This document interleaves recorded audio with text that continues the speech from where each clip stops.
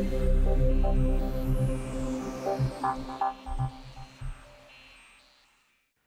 there and welcome back. Today we're going to talk about Device ID Plus, a new free offering from Shape Security, which is now part of the greater F5 family. So you may be asking, what is Device ID Plus and why should I care? Well, if you think about it, Device ID is exactly that. It's a way to uniquely identify machines. And so if we look at a particular scenario, such as this one here where we have friends inside of a coffee shop accessing their applications, could be banking applications, it could be network applications inside the corporate enterprise, right? And so if we're thinking about this from a security perspective, how are we to ensure that a user is actually that user, they are, they are who they say they are, and they're coming from a machine that we've either authorized or maybe we've kind of soft authorized, right? It's a known device to us. How, so how do we how do we correlate those two? And then what kind of decisions can we can be made from that correlation? And so if you think about it as a quick example would be maybe your organization wants to lock down a specific user, such as this lady here laughing on the left, with her specific corporate laptop. And only she can use this laptop to log into their applications. And so if you think about it, your organization array may be doing some of this. You might be using machine certs. You may be using an agent that checks maybe a, a registry file, reg key. You may be doing a lot of that other stuff that is great and works. However, there are still ways around it and sometimes it's a bit cumbersome where it creates friction between the user and the application. And in this day of, of information now, we certainly don't want friction. And so Device ID Plus is a way to identify that machine very, very quietly without any friction to the user. Unless they're coming from a device that they're not authorized to use and you want to mitigate or maybe do something. And so a good example here is a cell phone. So I recently upgraded my cell phone and when I tried to log into the applications I normally log into, I was prompted with an alert that said, we're sorry, we don't recognize this device you're logging in from. Please enter the six-digit PIN or token that we sent to your email on file. Enter it, click here to continue. And so I would log into my email, get the PIN. I would log into the email because I should be the only one authorized for that email, right? And so the application or the company can somewhat determine that I am who I say I am if I have access to that PIN. And so I enter the PIN and boom, I'm, I'm logged into the application. A lot of times the company might decide to catalog or put that machine device ID fingerprint into their database. Sometimes they won't. It's all up to the logic that's built into the application. And so really that's what device ID is. It's a way to uniquely identify a machine. And so if we were to think about it from a security perspective, think about how powerful it would be to correlate and match a specific user, such as these people here, if we could uniquely identify them and then uniquely identify their machines, how powerful would that be for your organization's security? Pretty powerful. And so let's talk about how this is done. And every company does, this, does it a little different. And by the way, this is absolutely free.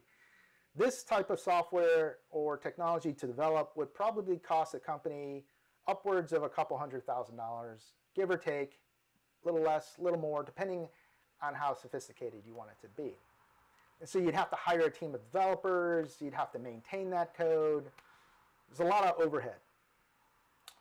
This is free. Again, Shape Security is giving this away as a free tool for you to use. And anyone can use it. You don't even have to have a BIG-IP to use this. And we're going to show you here just how that's done.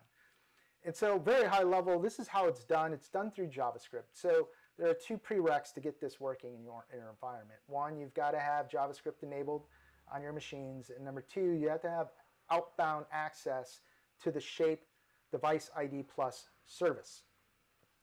So high level, this is what happens. A user on their laptop logs into your portal or to an application in your network.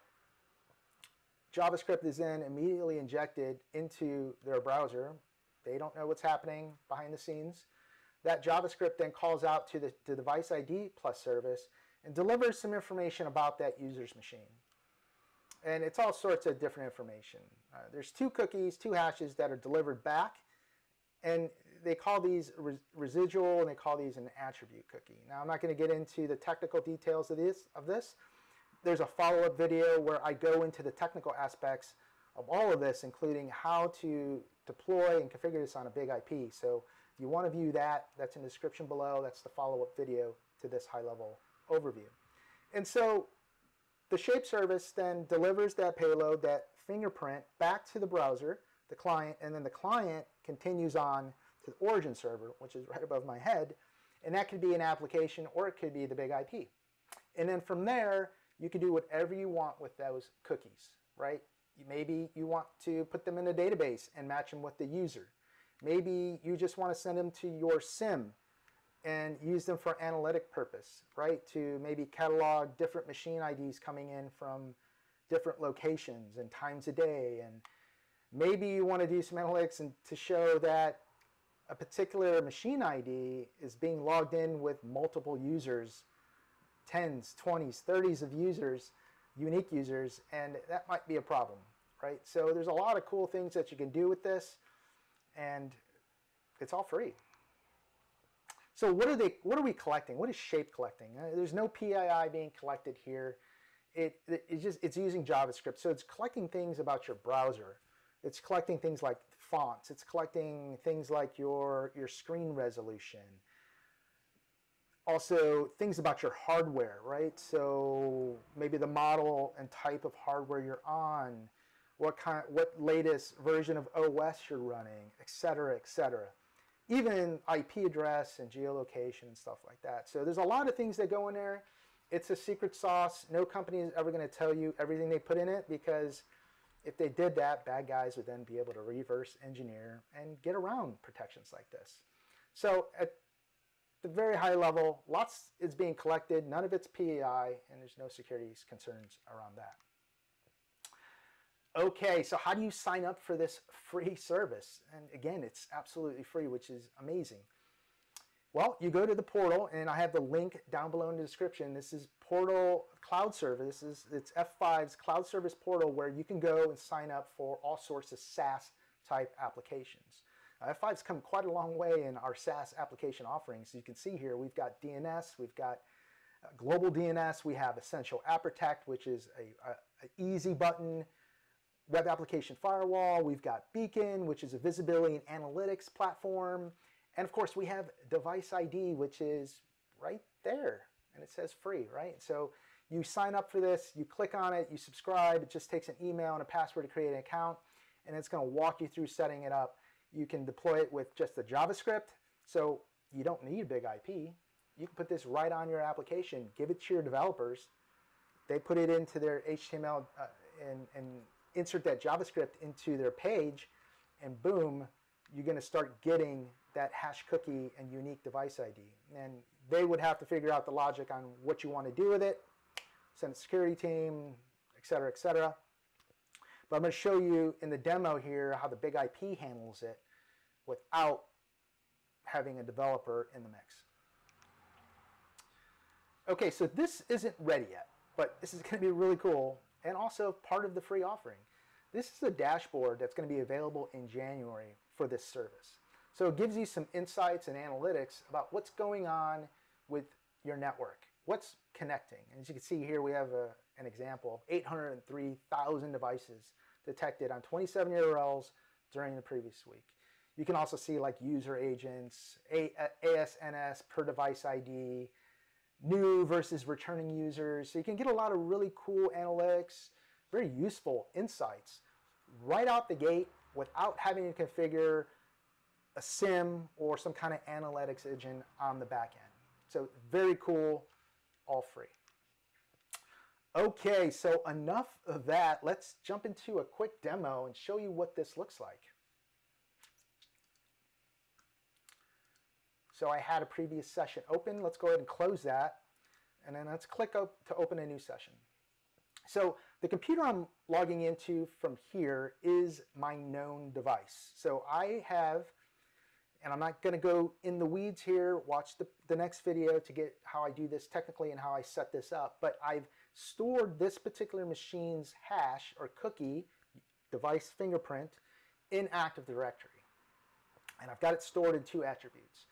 And so what will happen is when I log in here, it's going to, BIG-IP, APM, Access Policy Manager, is going to query Active Directory and get those attributes. And then what we're going to do is we're going to match them.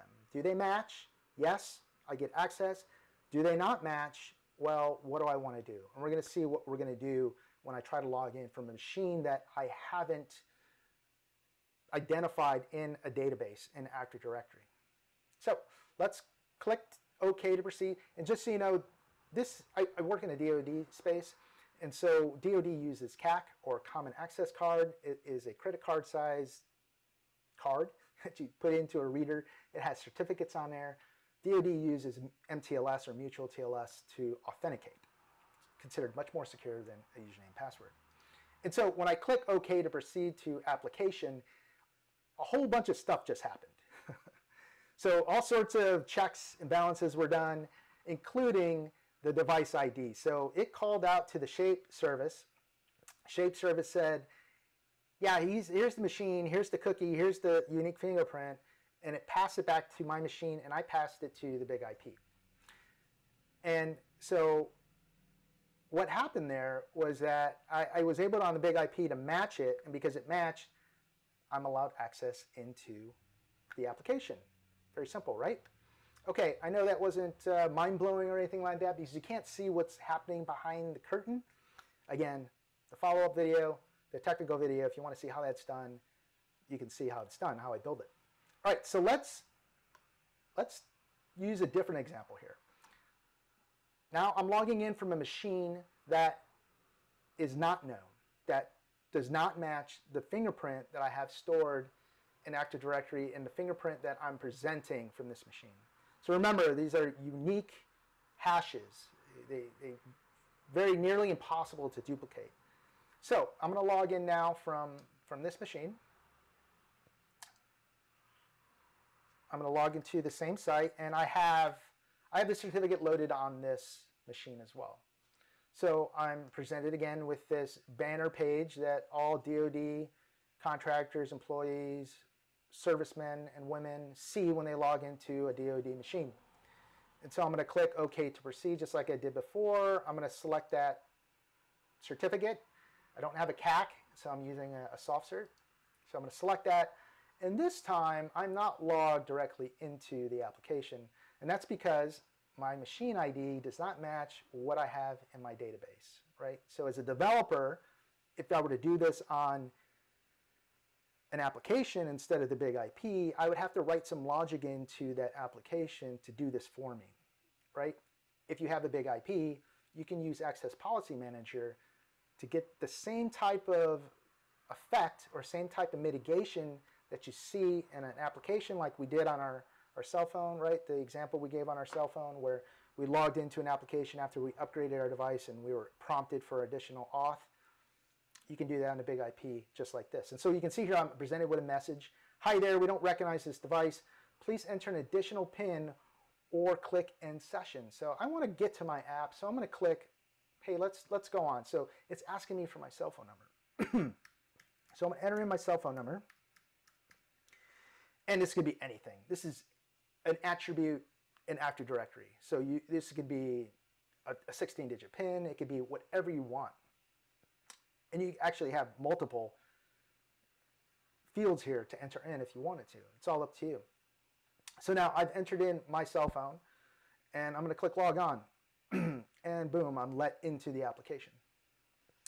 What happened there was Access Policy Manager took what I entered in, matched it, queried Active Directory, queried that attribute, and then matched them.